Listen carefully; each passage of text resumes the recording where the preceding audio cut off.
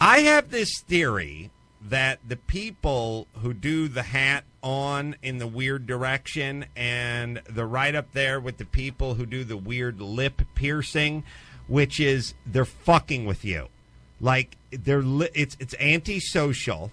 First off, it's saying, um, here's how most people wear their hat. Nah, I don't wear my hat that way. I wear it in a super uncomfortable, unattractive way that does nothing for me, and it shades the side of my neck. it does not keep the sun out of my eyes. It doesn't keep the hair out of my face. I will fuck myself up. It's right up there with the I wear my pants somewhere around mid crack line, like about about, about half ass crack mass. Like uh, my balls died and my pants are flying at half crack.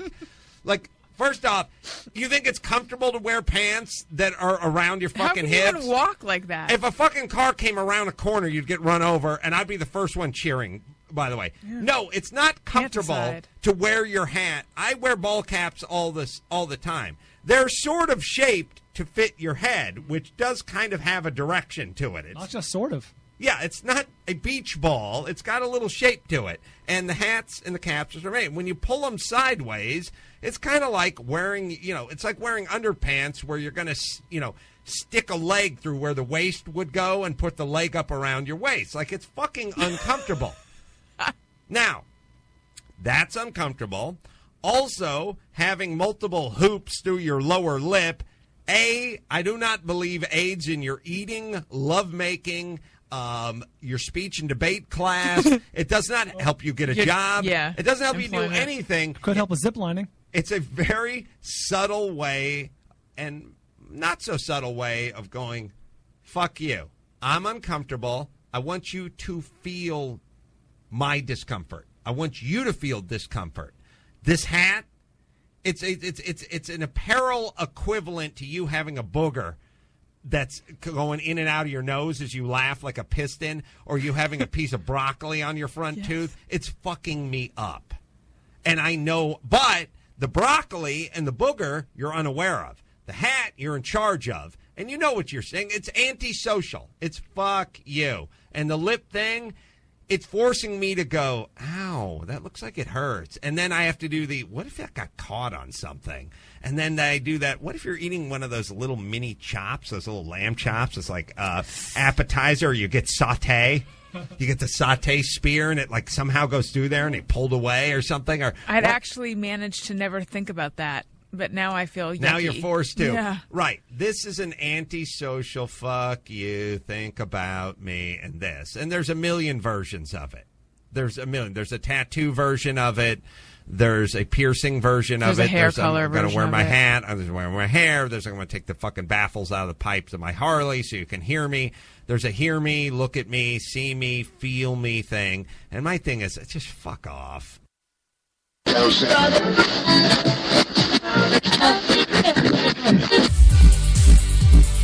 You've got it locked to HTLA Radio 1, New York.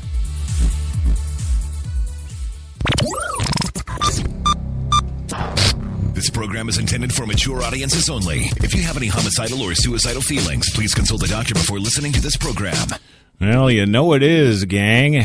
Yes, it is. 3 p.m. Eastern, Thursday, the 12th of February, 2015. Not even kidding. That's the day. That's the date.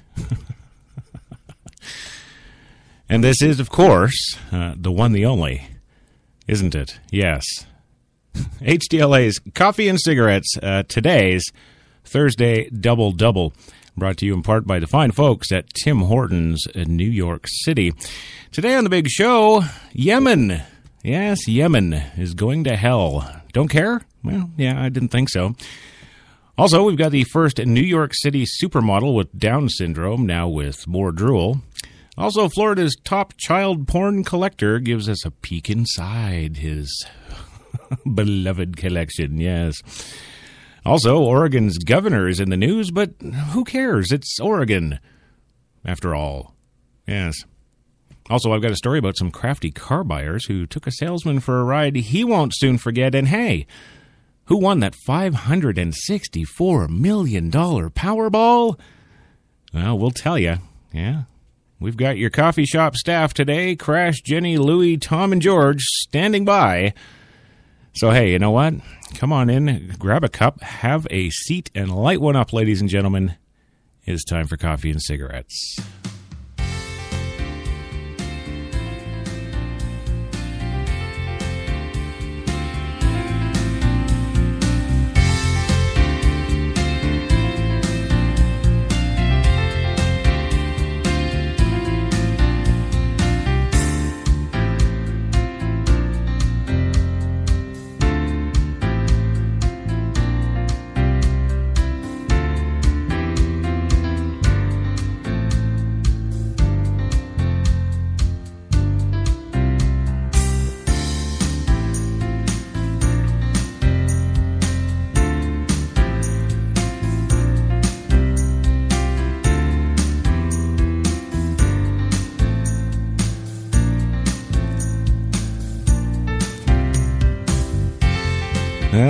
So lots to talk about today on today's fine show, the Coffee and Cigarettes Thursday Double Double.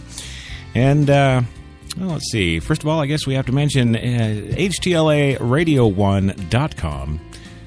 Go check out that website. Tell me it ain't the funkiest thing you've ever seen since the last time I told you to go to that website, which was yesterday. no, it hasn't changed. But hey, you know, we got. Uh, we got all the shows there. We got all the webisodes there. We've got well, some pretty nice promo photos. Which, uh, by the way, next week we're going to be unveiling new promo photos for HTLA. So, uh, yes, we had the great photographer in here earlier this week, and he did all the photos. And uh, yeah, so we'll uh, we'll have a new set for you coming out next week. That'll be fun. and uh, and and a heck of a show today. Yes, absolutely nothing really pertinent or important. no, no, we don't do that here. Well, yeah, sometimes we do, but you know what? I'm just rambling on. That's kind of pointless. Uh, reminder that today's show is Powered by Procast. ah yes, mm-hmm. It is powered by Procast, but for some reason, Jenny, and I don't know why. Uh, I really don't. Uh, this is something that only Jenny can tell us. The uh, the Procast thing wasn't loud today. That that didn't blow my ears off. I, Powered by Procast. okay, well that, that yeah, that did it. All right. Ow. Yeah, thank you. Not. anyway, welcome to the show uh, today, ladies and gentlemen. It's good to have you all here as always. And uh, of course, the one, the only Jenny McCartney in the booth, uh, pushing the buttons, making us go. Uh, and and of course, she is locked in the booth with absolutely no beverages uh, whatsoever. We've uh, we've done the beverage ban in there for yeah, and she's not happy about it. By the way, no, I'm getting daggers stared at me through the window here. Ah, but what can you do? Rules are rules, and you've got to conform, right? You have to you have to listen to those rules, don't you? Yes, you do. And uh, there's a very big story, of course, uh, breaking uh, right now today about that, and we're not going to touch that story today with a ten foot pole. no, we're not. Now, if you're on my Facebook, and no, it's not like Jenny's Facebook was with 5,000 people on it. No, I only have a mere 500. Yes, a tiny smattering of following. That's it. Uh, but if you're on my Facebook today, you of course know the the story of the hour uh, because I've had you know, well, half of my 500 comment on it and weigh in on it because it's a a pretty controversial thing. And this isn't to say that we're not ever going to cover that story. No, no. But in HTLA style, of course, we have a show for everything. And, well, this uh, format and medium is uh, not the right one for that content. Let's put it that way. So uh, look for Crash Talk next week or even Straight Talk. I was talking the corporate office today about uh, making that a Straight Talk episode because it's so damned important. But no, we've got the, the coffee shop headlines for you at this show. We like to do that, so without further ado, I'll move on here in the uh, show. And speaking of move on, Uh, we'll go to our first uh, calling guest uh, live via satellite because I like to say via satellite instead of on the phone. It's it's so much sexier. Uh, is the one, the only Louis Lawless, my film and television directing mentor from 23 years ago now or some bloody thing. Yes, uh, he is. He is on the line, isn't he? Yes. Wait a minute, I got lost. H T L A. Mm-hmm. Oh, H T L A. Yeah. Hell is that? Yes. Okay, good. We we have Louis. Yes, good. Uh, also joining us uh, right here in the city from his sixty million dollar penthouse overlooking Columbus Circle is the one, the only Tom Cruise. Welcome to the show, Tom. Uh, absolutely. Absolutely. All right, good to see you here today. And uh, going back across the country again to beautiful Los Angeles, California, and Mr. George Takei at his home in, in Beverly Hills. Yes. I think it's a treat to be here talking with you. well, that's that's great, George. I'm glad you're here, and uh, well, as always, you know, we're we we love you, and we'll we'll never get rid of you. well, okay, well, yeah. Actually, no, no. I, I do have to break the news that the uh, the uh, the boss lady has spoken. We we do have to be changing up some of our lineup of uh, co-host slash co-guests, whatever you want to call it, next week. So, uh, as mentioned, like a week and a half ago, I did try and get Alec Baldwin on the show. He punched me in the face, and that didn't work out well. So he won't be joining us, but. I'm sure those fine folks in promotions and marketing for HTLA are hard at work getting us some quality that we just can't, um, you know, replace these guys without. Sure. Absolutely. Yeah. So there it is. Which which uh, woman are you married to or living with now? The same one? The what? The, the mother of the daughter, or the was it a boy? You're, you're, yes, yes, that's it. It's a boy. Now, Oh, can we cuss? Can I cuss as I always do on on the show? uh, you know, yes, you, you feel free. I got the button right here, and, and we'll just go ahead and move right on then. You want to move on? Come on. Let's go, man. Yes. So, what is the first coffee shop story of the day, you might ask? Well, it's Yemen. Yes, Yemen. Not yes, man. It's Yemen. And it's collapsing before our eyes, apparently. Hmm, yes, this is, this is very important. I, I don't know how much more important we could have gotten on today's top story. Yeah. Well, the United Nations thinks it's important. The Secretary General is warning that Yemen is, quote, collapsing before our eyes, and the international community can't stand by and watch.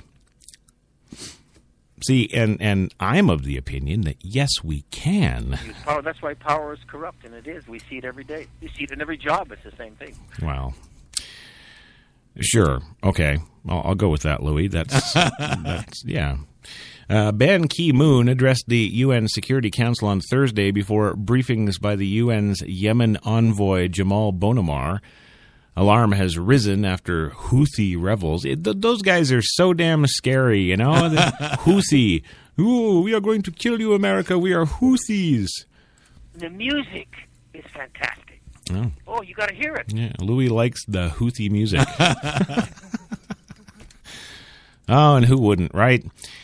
Yes, the Houthi rebels declared that they have taken over the government of the impoverished nation that is home to what uh, some is considered the most dangerous branch of the Al Qaeda terror network. Now, isn't this funny, ladies and gentlemen, that, you know, now all of a sudden, oh, Yemen is the epicenter of the, the terrorists, yes.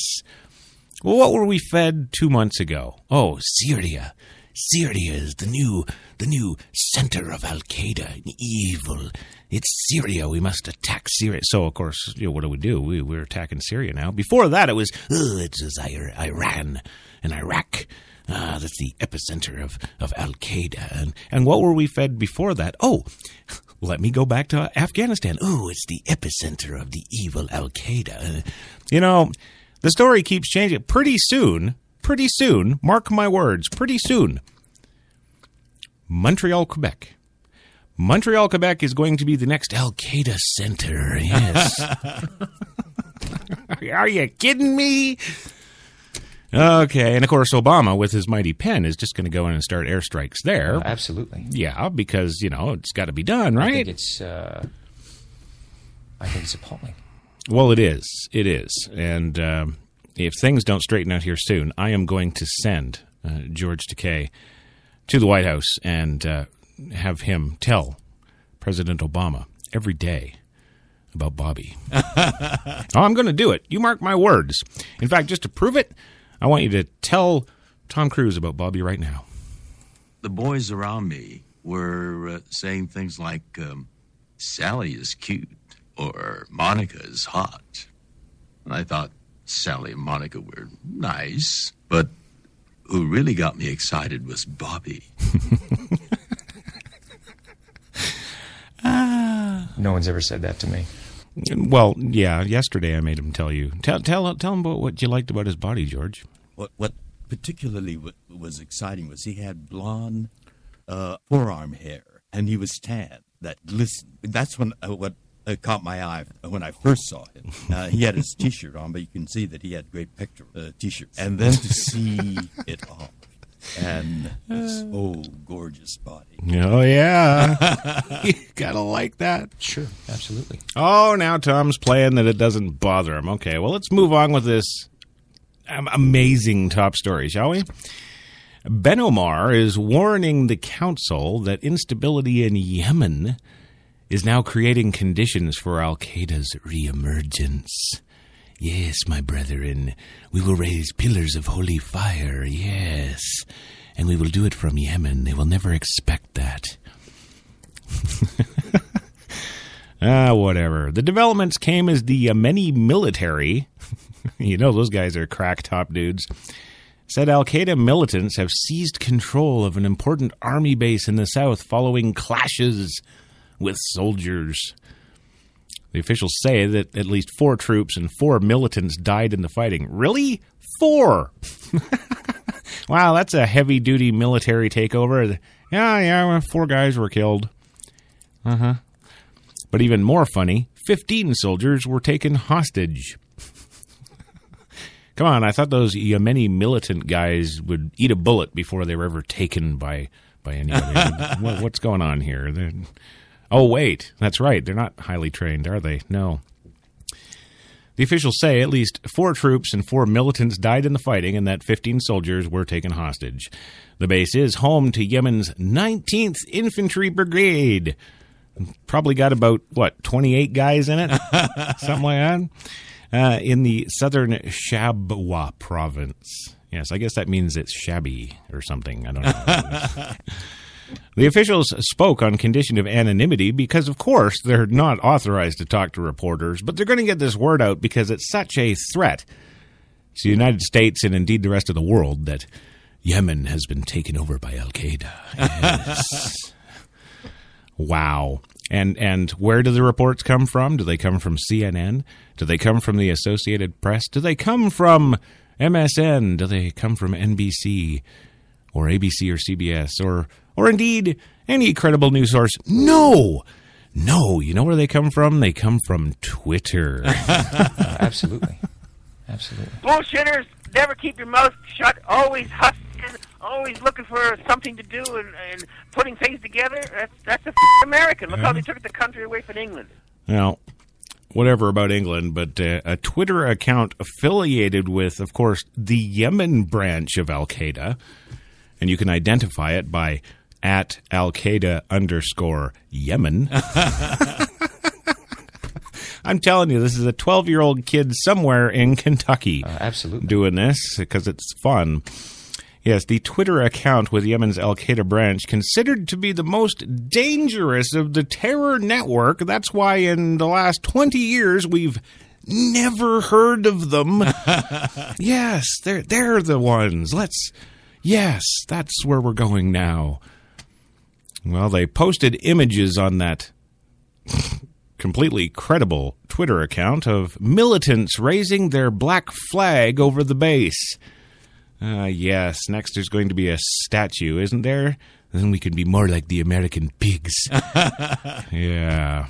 The photographs also show militants in American armored vehicles The images authentically could not be independently confirmed, of course, but somehow corresponded to Im- events that have been depicted in the pictures from the non credible Twitter account. Uh, absolutely, absolutely. I think it's. Uh, I think it's appalling. Well, it is. But you know, what I want to know is why is this now an Associated Press story? They, they they openly state here that they have not, of course, confirmed any of the report's facts because the uh, uh, well, the, the soldiers are not allowed to talk to reporters. And of course, the soldiers aren't allowed to talk to reporters. So, what's next? We go to the next best thing the completely credible news agency Twitter from some moron who made himself an account. And now, all of a sudden, Yemen is the next birthplace, the, the ground zero, if you will, that we need to now take out. I, that is absolutely uh, maybe from your perspective. Well, you know, how would you see it? Huh? That's what I want to know. How would you see it, Tom? Because uh, what what else do you take from this?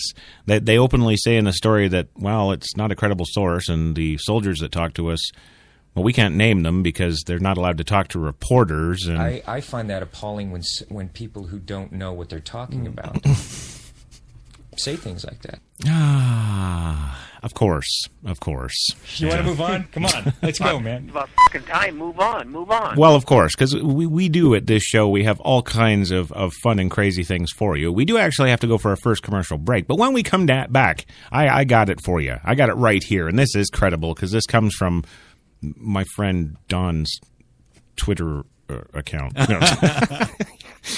uh, but yes, the first model with Down syndrome is in New York Fashion Week. Yes, she is, and we're going to present her to you with all the streaming drool down her breasts in every little detail in two minutes. Be right back.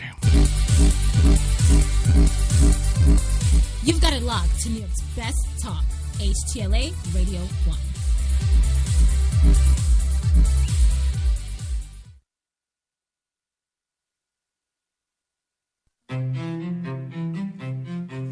What if there was a coffee that was sourced from some of the world's most renowned growing regions?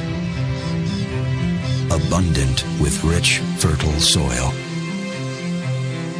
What if this coffee was picked at the perfect moment, then packed meticulously and shipped carefully to be roasted under the watchful eye of coffee masters? What if it was expertly blended, ground, and sealed, ensuring maximum flavor and freshness? Then brewed in small batches and always served fresh within 20 minutes, just the way you like it.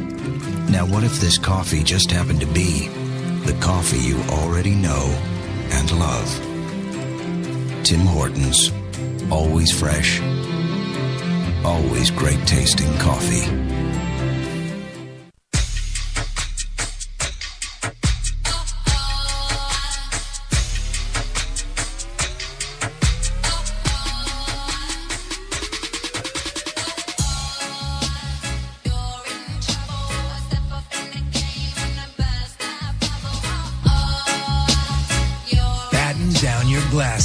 White Rum has a new captain.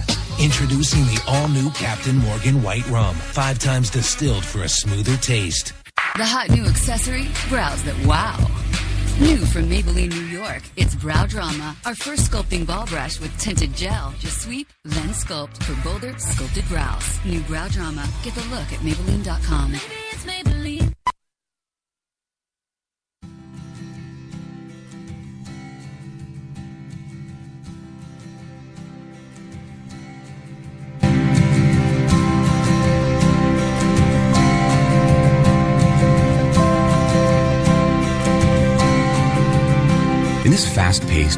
digital everything life, there's nothing like experiencing the world's finest journalism in its original form. So sign up today for as little as $3.80 a week to receive the greatest newspaper in the world and all the incredible experiences that come with it.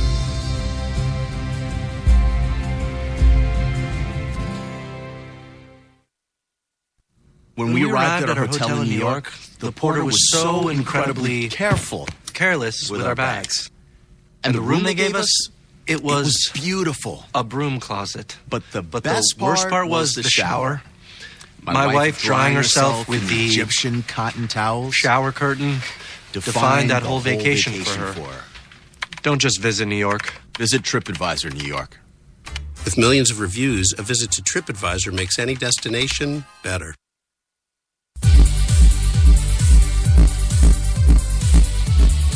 We're New York's best talk radio, HTLA Radio 1.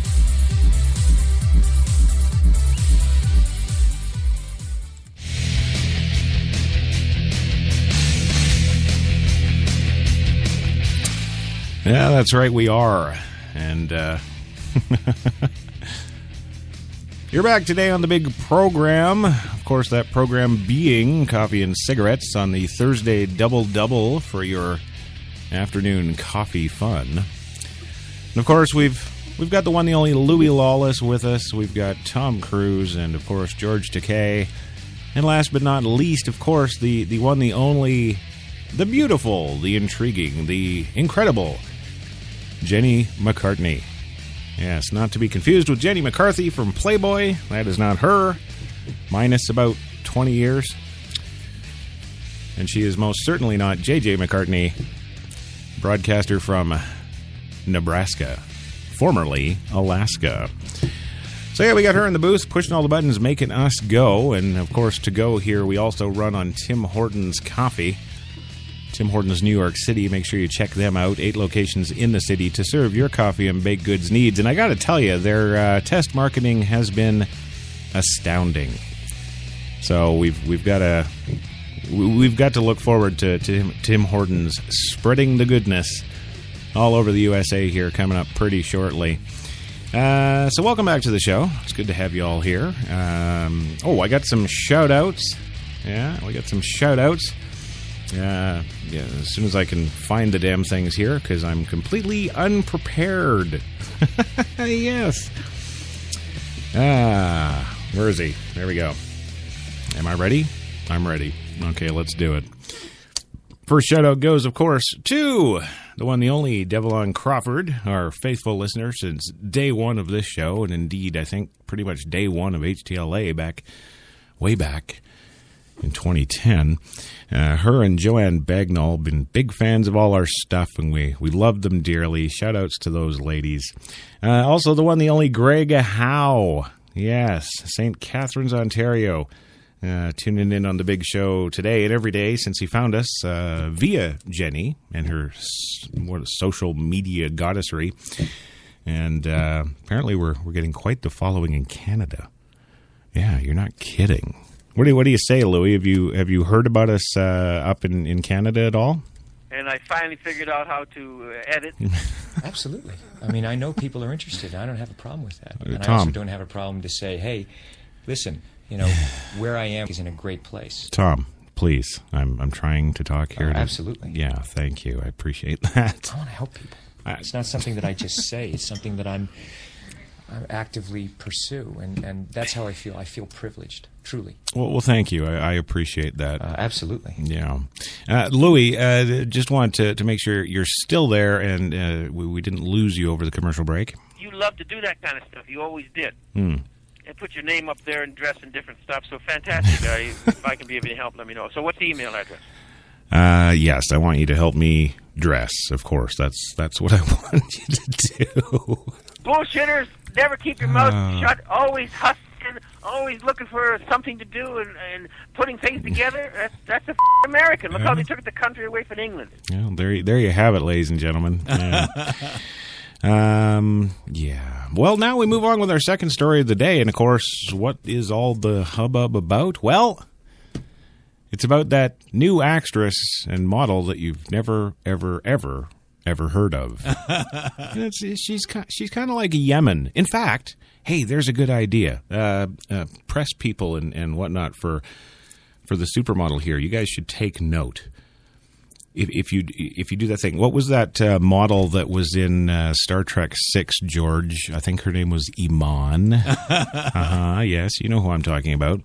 Um, you know, traditionally supermodels do really good with one catchy little name like that. So so hey, I think you know this girl is the first girl with Down syndrome uh, that is a supermodel in New York's Fashion Week coming up here, and uh, you know who who wants just a regular name? I, I think we should call her Yemen.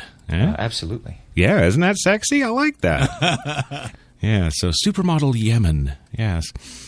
Well, actress Jamie Brewer, best known for her roles in American Horror Story, will appear Thursday on a catwalk during New York Fashion Week. Brewer will be the first model in the show with Down syndrome. Brewer will wear clothing by designer Carrie Hammer as part of Hammer's Role Models, Not Runway Models show.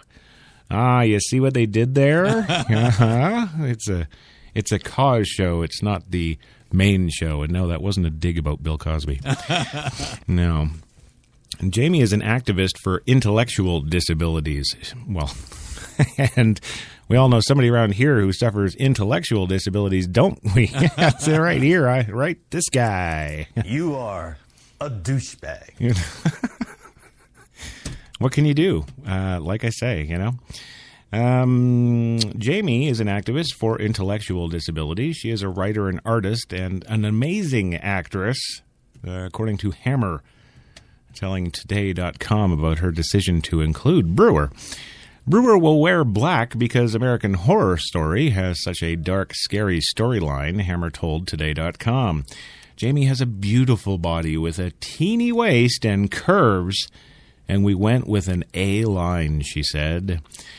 The show is taking place at Lightbox, a digital arts and events space in New York City. Brewer tweeted images of herself getting ready Thursday morning. Uh, those are lovely, lovely images. Yes, there we go. And right, and uh, well, let me just say this, folks. You're you're you're fortunate that this is radio. You are a douchebag. A douchebag, yes. Uh, absolutely. I think it's appalling uh, that they're still burning synagogues in France. Oh. I think it's appalling how certain Muslims are being treated. I think it's absolutely appalling when we talk about freedom of speech and human rights. I think it's appalling that they electric shock people. Mhm. I think it's appalling that they drug children. I know. I think it's. Uh, I think it's appalling. All right, are you done? I think it's appalling that No. they say that there are no solutions for those things. I think it's appalling that people have to live a life of, of drug addiction. Mm-hmm. So what you're saying, Tom, is do you think it's appalling? I think it's. Uh, I think it's appalling. Mhm. Good. Glad we got that. Uh, absolutely. Yeah. okay. Well, that's it. Uh, I'm gonna. No, I'm not gonna make George talk about Bobby again. That's uh, that, that's just not fair to anybody. Um, well, before we go to our, our next lovely story, um, what do what do you guys think about this? You know, I mean. Down syndrome supermodels. I, I guess that's that's good with the whole PC thing, isn't it? You know, we uh, just just everybody can do everything. Yes, is that that what that's saying? You know, I You know, I don't feel it's ignorance breeds bigotry. uh, yes, uh, true. Um, okay, uh, Louis, what are your thoughts? always when always with a female having a relationship, married or single, Hmm. it's always better that they do the leaving. if you do the leaving, it creates that lingering thing. You know what I mean? Yes, yes, absolutely. But uh, no, no, that that doesn't uh, doesn't work. Uh, George, Down syndrome. The, the trick is using that word in a conversation. Oh. in your writing. It's it's the use of that word that makes it uh, your own. Okay, all right. As I uh, uh, grew up, I made another discovery. Hmm. There were places called gay bars. okay, all right. So, um, okay, you guys don't really have any pertinent comments about uh, Down syndrome supermodels. Louis, come on, save me, man. What do you what do you think about the Down syndrome supermodel thing? The music is fantastic. Oh. Oh, you got to hear it. Well, you know, it is Mercedes Benz Fashion Week. Uh, there, there, there has been some pretty sexy, awesome music. Gotta say, I'll, I'll, I'll give you that. I'll go with you on that. That's fine. Um, yeah, I'm gonna move on because uh, you know this is nothing. I, I You want to move on? Yeah. Come on. Let's go, man. It's about fucking time. Move on. Move on. Right. Well, let's get into some child porn. How about how about that? That's always always good for something, isn't it? Well, um, no, no, no. But a, a collector has uh, um, well decided to share his collection. Should be noted that this story does contain disturbing content that is appropriate, inappropriate. Sorry, for young children. No one's Uh, ever said that to me. well, I know, I know. We got to get the kids off the street anyway before you start talking Scientology. That's just my two cents. Uh, Century, Florida. Not today, maybe tomorrow. For months, the man behind the computer had grown used to uttering those words to himself, mostly to fend off the increasing fear that somebody, maybe even the FBI, was watching his every prohibited keystroke. Hmm. Though there is indeed grave reason to worry, he could not, would not stop. The 52 year old retired Navy communications specialist had transformed his desktop computer, laptop, electronic notebook, and multiple external hard drives into vast reservoirs of illicit images featuring sexually compromised children, some as young as one year old. Many days, his computer never stopped humming as thousands of new photographs and videos of abused toddlers and preteens poured into apartment 108 on Wild Harbor Lane near Orlando, as if flowing from an open spigot of evil. On among the most horrific, the image of a girl no more than seven with the words "cut me and hurt me" scrawled in red on her naked body as a knife is brandished in the child's direction. That shocking photograph would be seized in the spring of 2013 as part of what state investigators described then as the single largest cache of child pornography, up to 1 million images recovered in Florida history, and one of the largest recent seizures in the nation. It was mind boggling, said Florida Department of Law Enforcement Steve Brenton, the lead investigator in the case. State and federal authorities said such vast repositories of images are becoming increasingly common in exploitation cases across the U.S. Once celebrated as important law enforcement victories, the large seizures and the labor intensive analysis required of each photograph and video are now complicating the search for victims pictured in the images and others who may have been physically abused by suspects. In an estimated 75% of child pornography cases, actual physical abuse by the suspects is likely going undetected, says Michael Bork, chief psychologist in the U.S. Marshal Service Behavioral Analysis Unit.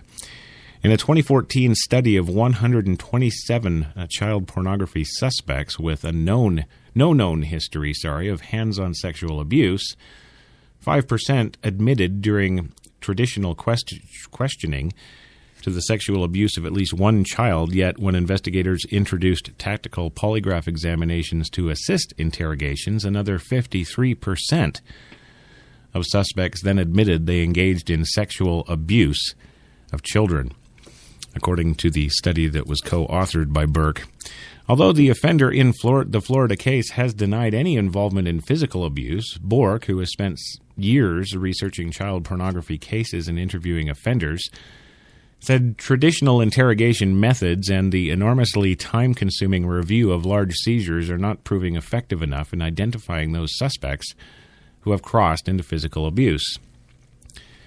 The archivist of the macabre Florida collection now sits in a rural prison near Alabama borders, where he vividly remembers the moment more than a decade ago when he claims he first crossed into the internet's so called dark web and began feeding an unrelenting hunger.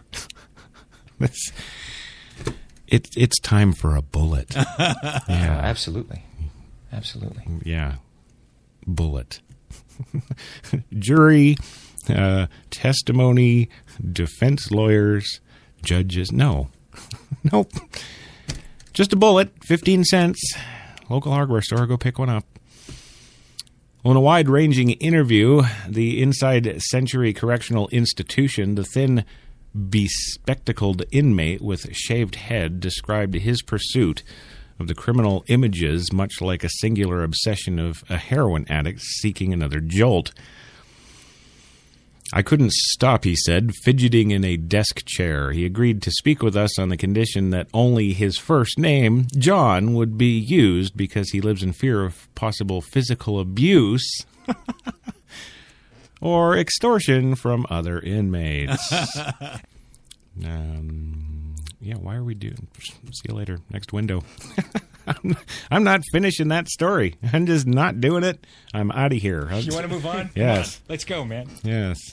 A bullet. That's that's the the final punctuation on that story right there. A bullet, ladies and gentlemen. That's that will fix that. We will not have to worry about that ever again. Oh my. Come on, George, say it with me. Oh, my. Yes. Maybe it's that uh, love hate. Mm, it could be. It could be. I love you, but I hate you, but I, I love you again. You know, I, yeah, you, Uh, absolutely. never know. Absolutely. Yeah, Tom, you think uh, you love George? I think it's. Uh, yeah. I think it's appalling. We're going to go for a second two minute commercial break. When we come back, would be car buyers take a salesman for a ride he won't forget. Yeah, this is a good one. Back in two. You've got it locked to New York's best talk, HTLA Radio 1.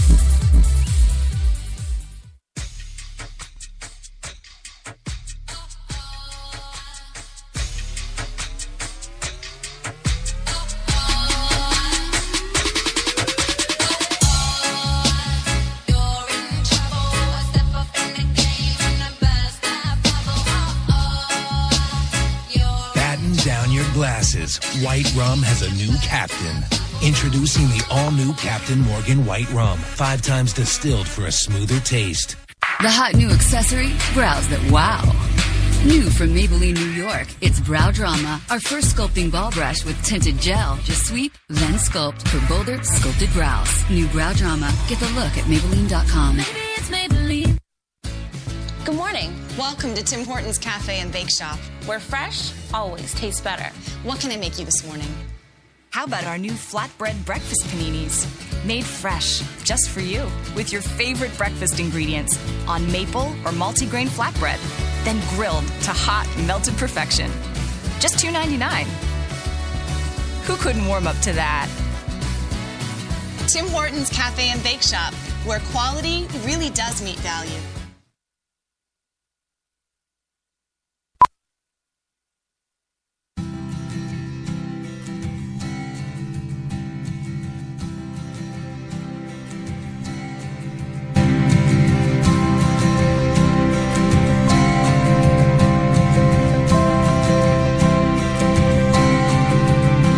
This fast paced, digital everything life, there's nothing like Uh, experiencing the like world's finest love doing it. journalism He called me. He its called me. He called me. form. So sign up today for as little as 380 a week to receive the greatest newspaper in the world and all the incredible experiences that come with it.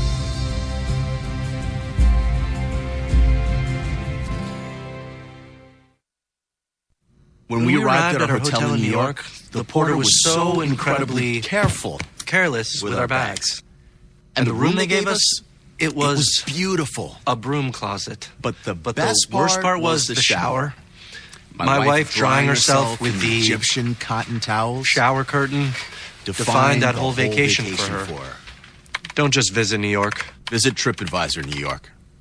With millions of reviews, a visit to TripAdvisor makes any destination better.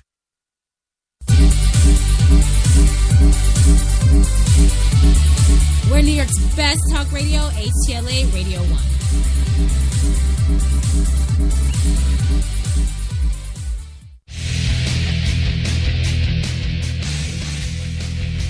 Yeah, you know it, baby. You are listening, of course, to HTLA Radio 1 New York. Currently 38 degrees in Central Park right now and cloudy and not looking very nice out. But hey, it could be worse. It could be 18. Well, um, I'm a Shakespeare though. I know, George. I know. I know. This is. You always do this when I'm coming back from commercial. I, I don't know what that is, but yes, for those of you who are just tuning in and don't know, George Takei is a Shakespeare buff. There, you- there you go. That's uh, that's what we got on the news wire there. Uh, absolutely. and also the one, the only Louis Lawless. Bullshitters, never keep your mouth shut. Always hustling, always looking for something to do and, and putting things together. That's that's a f- American. Look how they took the country away from England. Yeah, and uh, Tom Cruise. Uh, absolutely. Yeah, absolutely. Good to have you. And the man who thinks I'm a douchebag. yeah. So yeah, so those are the stories uh, so far today. Man, those were, were nothing but fun. Uh, Got to tell you, I can't uh, I can't tell you how much fun that was. Uh, yeah, so much fun. yeah. Well, anyway, we are, of course, brought to you in part by Tim Hortons New York City. Now, with eight fine locations in the city to serve your coffee and baked goods needs, check them out. Tim Hortons, New York City. Um, yes, and it is currently, right now, Oh yeah, 343 in the big city and we are rolling on here at Coffee and Cigarettes today. We've had all kinds of fun and enlightening stories. Okay, maybe not so much fun or um, indeed enlightening at all. Uh, maybe yeah, we'll go we'll go with that. No, there, there was nothing. it's just no. And of course, per contract, uh, thanks to good old Tom Cruise and his lawyers, we have to take out a moment now to discuss Tom and his discovery of Scientology and, and all that good stuff. So, Tom, please. Uh, Someone, friend of mine, actually gave me this, you know, it was actually this picture book about suppression, you know, and social and antisocial personalities. And I was, what is this? You know, they said Scientology. I said, oh, I'm very interested. And uh, I, that's when I became a Scientologist about 20 years ago. uh, there you go. Good. Thank you. People are interested in Scientology, and I, I find that people wanted to know. Yeah. Uh, they want to know about it. Sure, and, and that's of course why you had to stick it in the contract to make sure that you had time to mention that every single day on the show, right? Absolutely. That's, Bullshitters, never keep your mouth shut. Always hustling, always looking for something to do and, and putting things together. That's that's a f- American. Look how they took the country away from stepping England. over a line now. You're stepping over a line. You know you are. I'm just telling you right now. Put your manners back in. All right, they're they're firmly back in, and um, yeah, George, tell him about Shatner. He enjoys being the center of everything. yes, he does, doesn't he? Did you uh, sleep with him? I did not sleep with him. Okay, all right. I just wanted to make sure, you know, get that out of the way. Ah, yes. Well, what do we got? We still got more stories. Don't go anywhere. It's not over. Look at that. How about the would-be car buyers that took a salesman for a ride he won't forget? You betcha. Come on down to Red Redford Ford in Michigan. Yes, Redford, Michigan. A car salesman was taken for a ride Monday, literally. It all started when two women, two evil Islamic Muslim women who came from Yemen, asked to test drive a vehicle from Maddox Chevrolet dealership at about 4 p.m. Yep. And instead drove the salesman to McDonald's to buy food. I, I didn't know that was an Islamic staple. Maybe I'm confused. The salesman told the driver a couple of times that she could not eat in the car, but she ignored him and got food anyway, according to police reports.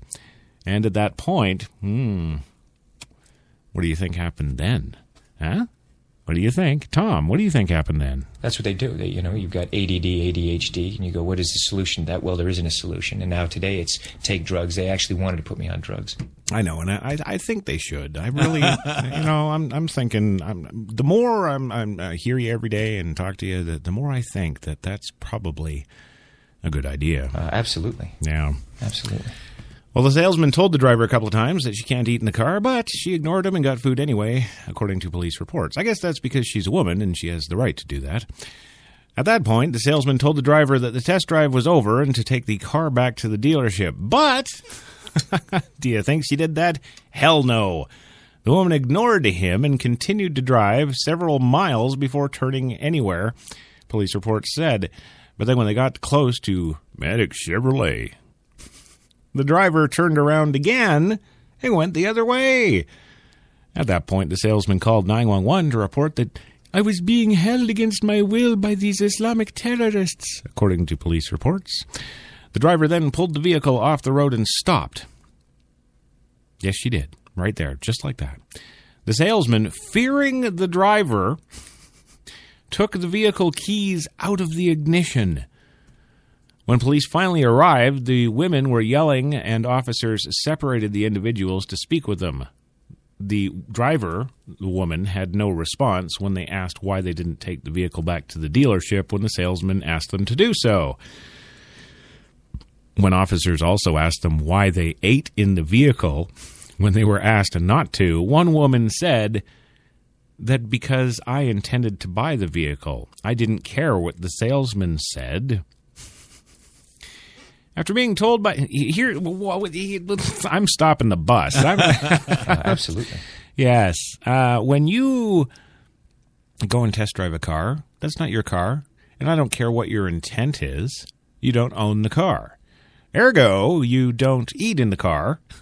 Once you've paid your money and bought the car, yeah, paid your lease and signed up with your agreement, once you have some sort of, well, really any kind of legal claim to said property, then you go to McDonald's. Well, what is so hard to understand about that simple, simple context? I, I, I, Bullshitters, I- never keep your mouth shut. Always hustling, always looking for something to do and, and putting things together. That's that's a f- American. Look how they took the country away from England. Uh huh. Oh, yeah. So she intended to buy the vehicle, so I didn't care what the salesman said. That's it. Yeah. After being told by officers that it's illegal to hold someone against their will, one of the women began to claim that the salesman assaulted her. Of course. But she could not describe when or how the assault took place. Police advised the woman that they would be transported back to the dealership and that they were not allowed back at the dealership ever, ever again. All parties apparently went their separate ways without further incident, police reports said. So, so there you go, uh, ladies and gentlemen. Uh, well, indeed, of the world, we have listeners all over the world. You know what? Don't go and test drive a car and think it's yours until you actually pay for it. well, and I got to qualify this because you know most of our American listeners, uh, especially those younger generation set there, they think that everything's just theirs. They, oh, I can have that. That's mine. Yes. Well, no. As with everything, there is always a price to pay, and until you pay it, well, you don't have the everything part right. Uh, absolutely. Right. Absolutely. Well, Tom, you know, it's a sixty million dollar penthouse. Did you go up and have dinner there before you, you know, before you you, you went and bought the place? No. Listen, we raised children. I. hmm yeah, but the the part. The- How do you You're answer that? How do you answer that question? well, something simple, you know. Did you or did you not go up and have dinner, entertain your friends, etc., before you bought the thing? No one's ever said that to me. Okay, well, I'm, I'm moving on because uh, we've got a, an important story, ladies and gentlemen. Oh my God, this this should have been number one. I've I've screwed up. I've got the stories out of alignment here. Um, yesterday it was on purpose, but today, no, I've I've made a, a, a terrible journalistic faux pas. I'm going to lose my job now because the top story today was not the Oregon or Oregon governor who says he won't step down. uh, yeah, you know, it's Oregon. Who cares, right? Well, despite speculation about John Kitzhaber's future as governor of Oregon, he insisted Wednesday that he has no plans to step down. Let me be as clear as I was last week, he says, that I have no intention of resigning as governor of the state of Oregon. I was elected to do a job for the people of this great state, and I intend to continue doing so until the day I die. Questions arose early Wednesday morning after Secretary of State Kate Brown abruptly left a conference in Washington, D.C., and made an unscheduled return to Oregon. Reached by KGW TV reporter Mike Benner Wednesday evening, Kitzhaber confirmed that he does not intend to resign. He said he asked Brown to return early from Washington so that he could tell her about his decision. Yes, because he, he, he couldn't do it on the freaking phone or something. We, we, we don't have we don't have those. Uh, we don't have the technology for that yet. Geez, no. How about you get on the old uh, ever credible Twitter and uh, you know let let them know that way. Uh, Kitzhaber said that he was getting a lot of pressure from many quarters to resign. Tuesday, as you know, I went and visited. No, we don't actually, because you're the Oregon governor. No, we don't. We don't know anything you did. But he says Tuesday, as you know, I went and visited the legislative leadership to get their sense of my presence in terms of the legislative agenda. He said Brown's return comes as Kitzhaber faces calls for resignation. Brown could become governor if Kitzhaber leaves the office before the end of his term. Quote, We met privately today, and I told her again my intention was not to resign, but she is, after all, the vice president. really? She's the vice president. Yeah. I'm I'm confused here. I, I, guess this Oregon government stuff is is not uh, not the norm. It's it's got to be out there. Uh, well, she's next in line, and any decision to re- re- retire or resign would obviously affect her. But I have, as I said today again, no intention of resigning the job I was elected to do. He said of his meeting with Brown. The Oregonian reported the agency heads were being summoned Wednesday to the governor's office as rumors of a pending resignation dominated conversations inside the Capitol. The governor met Tuesday with House Speaker Tina Kotek and Senate President Peter Courtney. Meanwhile, Kitzhaber's lawyer Jim McDermott said the governor told him Wednesday that he's not resigning. A spokesman for Brown, Tony Green, said he didn't know why Brown suddenly left the conference for the National Association of Secretaries of State. She is president of that organization. Green said Brown was originally scheduled to return late Friday. Well, reached at her home today, Brown declined to comment. so thanks for reaching out. Yeah. he called me and he called me, he called me. He kept calling me and I wouldn't answer the phone. Mm, yeah, I wouldn't either. Brown's unscheduled return was the latest step in the saga regarding the influence peddling allegations surrounding Kitzhaber and his fiancee, Cylvia Hayes. Cylvia Hayes. Wow, there's there's some funky, funky names out there in Oregon. yeah. Kitzhaber is facing the biggest crisis of his nearly four decade political career. Newspapers have called for his resignation over allegations that Hayes used the governor's office to indeed land contracts for her consulting business. The state attorney general has launched a criminal investigation, and the ethics investigation has been suspended. Brown and Kitzhaber are both, ooh, Democrats. uh, absolutely. Absolutely. Well, Kitzhaber canceled a Saturday appearance at a tree planting event in Tigard, Oregon. That's that's Tigard, like Winnie the Pooh. You, have been Tigard.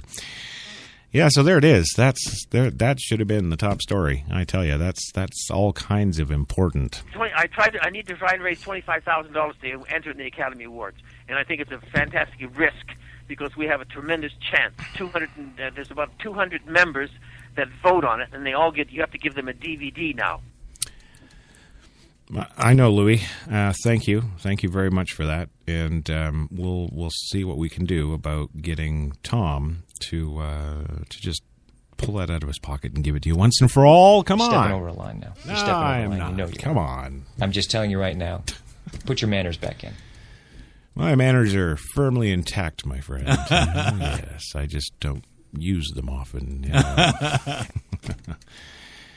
oh, well, who won that $564 million, you might be wondering? Was it you? Well, I don't think so. I've got the winners right here. Chandra Sawaitaki. Swaikati. There we go. I, I think that's right. Shanda Siwakati. what happened to Jones, Smith, and Johnson in America? What? what uh? What, what is that? Japanese, Croatian, uh, Eastern Bloc? I think it's. Uh, I think it's appalling. I, I know. I know. I'm just going to call her Chandra Johnson. Uh, yeah, I'm just, yeah, there you go. Chandra Johnson won it. Yep. You had a brush with a very, very rich person. Oh, okay. She's not even a winner. She's just owns the Apple Tree Food Mart in Princeton, Texas. There we go. yeah, love those Texas people. Yeah. Apple Tree Food Mart in tiny Princeton, Texas, population 7,700, is one of the three winning tickets that will split Wednesday night's $564 million jackpot that was sold at Suwataki's store. I mean, Johnson's store. Yeah. Texas lottery officials said Thursday. Selling that ticket means a $1 million for Siwataki. Oh, uh, oh, okay. You you get uh, you know kickbacks or something like with the mob when you put a deal together. Uh, absolutely. Yeah, forget about it. Uh, I want to help my family. He took he. Oh, okay. Uh, Chandra is apparently a man. I, Jesus, Christ. really? Gender fluid store owners now? Chandra. Okay, I want to help my family, uh, Chandra told USA Today. I have half my family overseas in Nepal. There you go. That's where the Soy Takati, Soy Kati Wadi. Uh, absolutely. Yes, lives in Nepal. There you go. Uh, my goal is to help those that are in the remote area of the country. Oh, perhaps could that be the new Al Qaeda ground zero? yes. I want to help my family. Yes, yes. Okay, good. You do that. Winning jackpot tickets also were sold in North Carolina and Puerto Rico. Lottery officials announced early Thursday if the winners choose to take the lump sum option, there would split $381 million. Well, before taxes, about 2 million after. okay, 2.1. God. Sue Dooley, senior drawing manager for the Multi State Lottery Association, told the Puerto Rico ticket was first Powerball jackpot winner ever sold outside the continental U.S. Puerto Rico joined Powerball less than a year ago. Antonio Perez Lopez, Assistant Secretary of the Lottery of Puerto Rico, told uh, or sold no the winning ticket apparently was sold at a gas station in Coto Laurel in the southern province of Ponce. Yes, Ponce, Puerto Rico.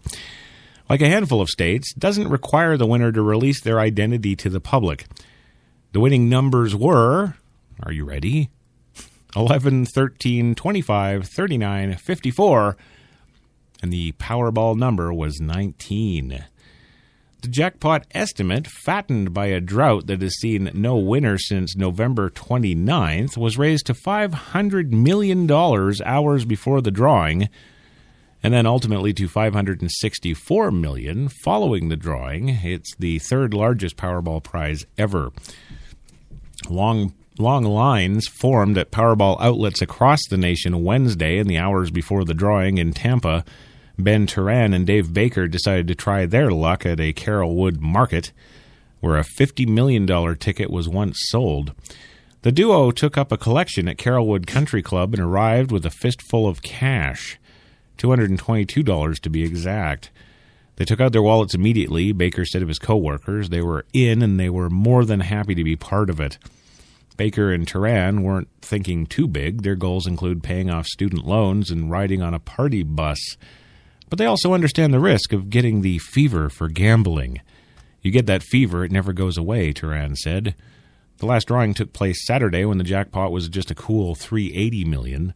The two biggest Powerball jackpots ever in May 2013, Gloria McKenzie of Zephyrhills, Florida won $590 million.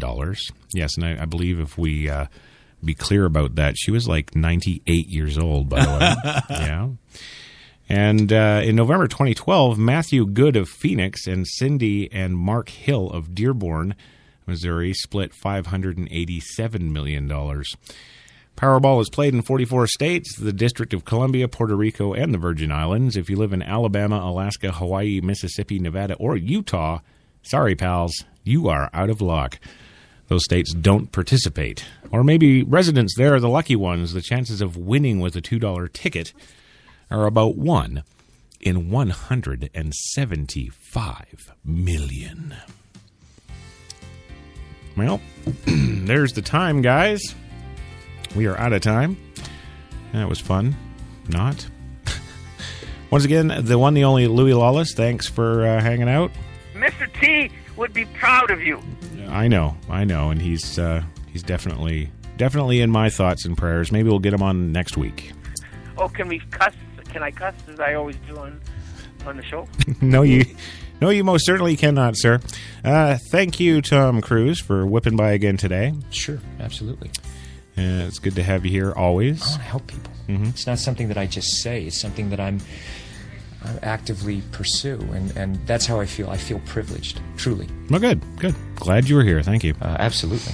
And uh, George, George, I think it's a treat to be here talking with you. thank you for being here, and uh, we'll see you maybe tomorrow. Yeah, Friday. I've enjoyed it thoroughly. It has been a fantastic experience. Uh, I never believe him. He always laughs after everything. I, ne- I never know if he's serious or not. Anyhow, tune in tomorrow, 3 p.m. Eastern, of course, for HTLA's Coffee and Cigarettes, the Friday Frappuccino. Always fun there. And a reminder next week, we'll, we'll apparently have new guests or co hosts or whatever you want to call them. Those, those guys. Yeah. and uh, yes, that's about it. Once again, check out HTLARadio1.com for all your, your fun, entertaining uh, broadcast needs right there. Cigarettes. Yes. Once again, I am Chris Crash Jesus Taylor. Thank you for listening, and we will catch you all tomorrow.